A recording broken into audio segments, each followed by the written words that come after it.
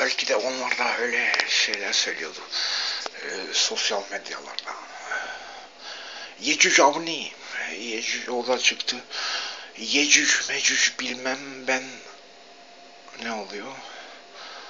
Avanak e, Yecüc. Yecüc mecüc bilmem ben avanak Yecüc.